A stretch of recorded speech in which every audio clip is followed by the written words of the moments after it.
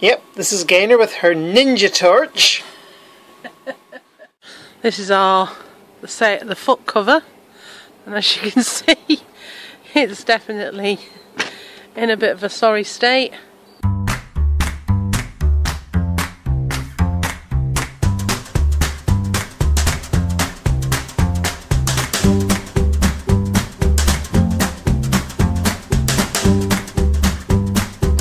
This is my um, pedestal cover. And it is actually reasonable nick to be honest but it does have some things but what really annoys me is the bottom in the fact that it is like that. So I will sort that all out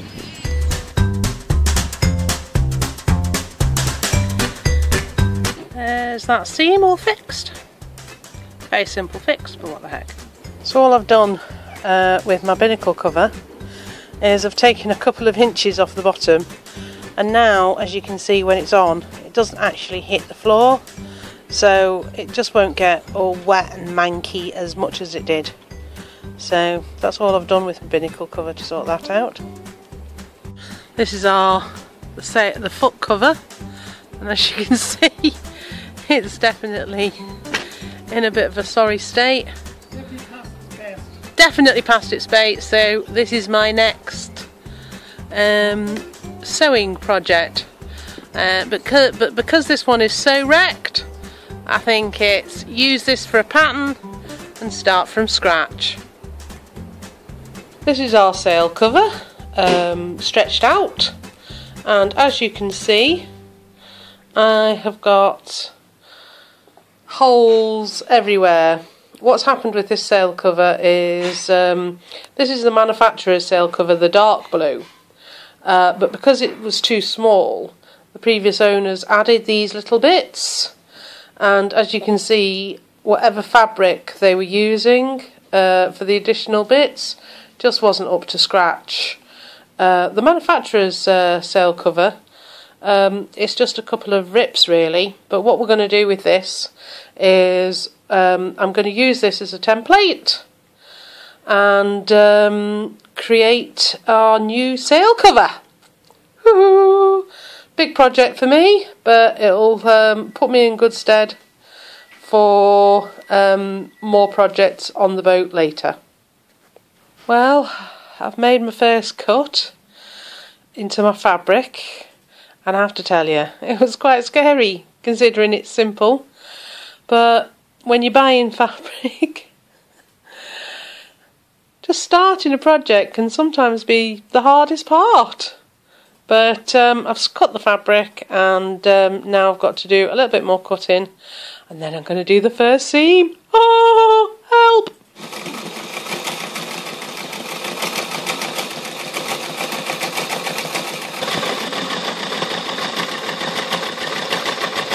Uh, this is um, ultraviolet violet. This is ultraviolet. This is UV resistant thread and the um, the smallest quantity I could uh, get it in was 100 metres so what I'm having to do is uh, thread my bobbins and um, use those to um, do my sewing.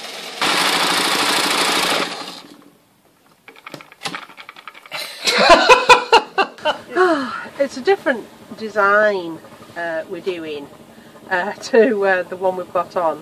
But what I've done is I've created, it's like a zip and this is where our lazy jacks are going to go through. But I'm actually just going to cut it with a hot knife so that it will be nice straight edge uh, down here.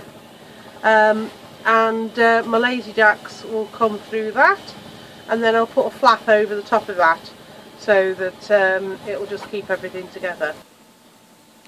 So um, we've got the um, metal ruler. Now we don't have, we've not invested in a hot knife. So we're using a, a hot knife. A Stanley blade that's been rather heated. Start, which has been heated. starting from here, yes? Yes. There we go. Oh, look at that seam. Let's have a look there. Look how nice and neat that is. This is my new um, cover for the uh, foot cover. And what I've got is an, a lot simpler design. Um, I kind of like made a a zip stitch here. Um, but I've sealed the ends and what I'm going to do there is we're going to produce a flap to go over that. Um, and then I've whereas the old design had a collar? I'm not even going to put a collar on. We're just going to put it straight like that. Um, so it's meant that I've basically made it out of two pieces of fabric which means it's a lot simpler uh, and the only thing I've got to do is put a flap here. And I've also got a flap on the inside just to cover um, the extra ropes and stuff. But that's got to come down and I've got to put the collar a bit lower.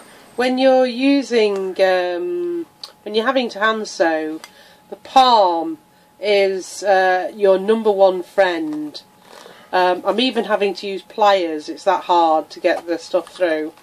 So I've got my pliers. And then I put my needle in and then I have to use the palm to push it through. And this is why my sewing machine just couldn't hack the job really. But the palm you have to have one of these to doing any canvas work at all and uh, you can tell that I'm not very good at using it because look at all those little holes that have gone around the side Yep, this is Gaynor with her ninja torch.